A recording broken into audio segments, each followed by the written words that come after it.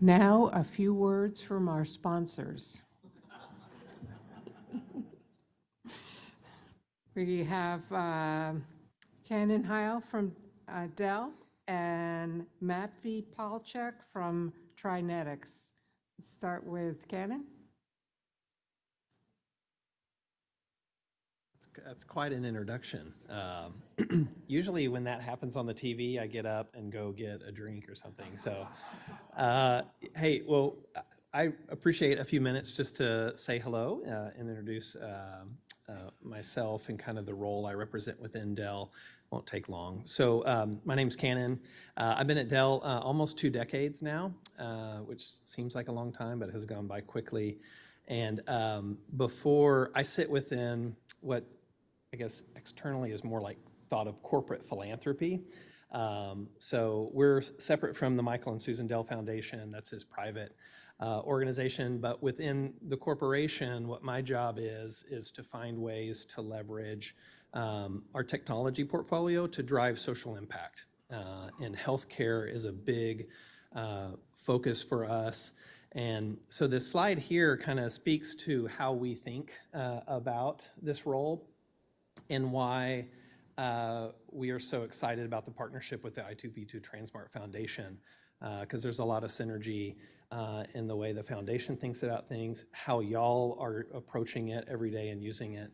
Um, and so we, we think that technology can be a catalyst uh, to drive real world change. Um, cash is awesome. what, what we found is it tends to, you never have enough of it and it runs out pretty quickly. Uh, but our belief or thought is if you can find ways to uh, um, kind of appropriately design and implement tech, um, you can get tremendous scale out of it. Um, and so that's kind of the heart behind this. Um, and then some of the, the thinking behind the digital medical twin.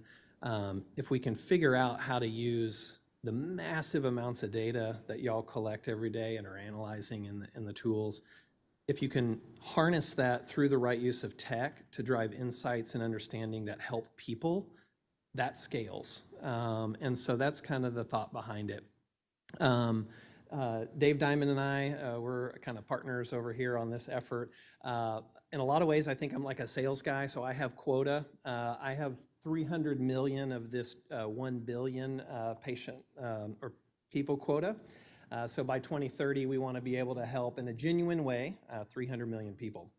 Um, and so um, that is the goal, uh, the moonshot.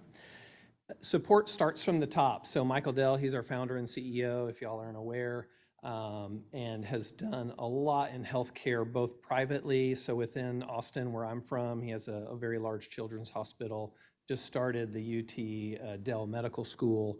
Um, and so he, he totally understands and has a passion of using every asset in his company uh, in the healthcare space. And so he, he's been a huge supporter of us um, in, in doing what we're trying to do. The approach, just quickly how we think about it, um, and, and the punchline here is for y'all is as you think about what you do each day, if there's ways to partner with the foundation and the community members to go do more things or do interesting things that use data and technology to help patients. Um, this is how we tend to think about it. Um, it's a concept called shared value. Um, and so this is where how do you help people while helping your organization achieve those missions? So is there a way to overlap those two things? So we think about this through, lens through Dell as well as our partners. Um, and so there's a social component to that, a business component to that, and a technology component.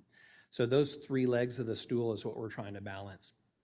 And then we want to have a long-term view. Um, so we, we have the benefit of being more of a philanthropic mindset. So our time to value or how long uh, investments take to return that social impact, we have some patience around that. Um, we do want it to be real world, though. Uh, we don't want science projects that sometime in the future a flying car. Uh, so that kind of speaks to this immediate.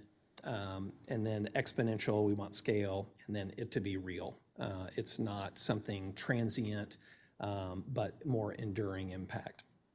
And then we have an opinionated guide on the tech we like to use. We are a technology company. We have an unbelievable technology stack Uh, Some folks tend to think of us as a PC company. Uh, That is a big part of our business, but there's a whole range of high-performance compute, and we can do some of the most sophisticated workloads in the world. Um, And so Saeed talked to a a little bit of that. Um, But we want to use that kind of leading edge. How can we look out into the future and find a technology solution that pulls something forward that might not seem real today?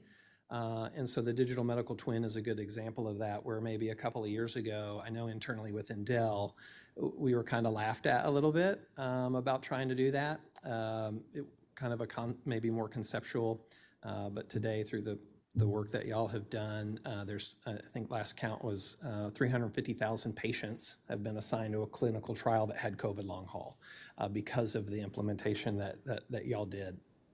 Um, So we want to scale impact through collaboration. We know it's not just one person, and I- liked how Sean started his presentation where it's not just him pitching, but a whole team behind that. So we want to work with everybody, uh, public, private, NGO, uh, non, you know, um, customers, to kind of come together and put the different pieces together uh, to drive impact. Um, And then we have a portfolio-minded approach where we have kind of on one end, maybe emerging technologies that aren't, quite ready yet, but more innovative, and we're not real sure if they're going to work, uh, to the other end around what we call these anchor programs, which are real big, large-scale investments. Um, And we have, uh, an example of that uh, we have a non-communicable disease program in India that uses some technology to be able to screen people uh, for non-communicable diseases and then start the creation of an electronic medical healthcare record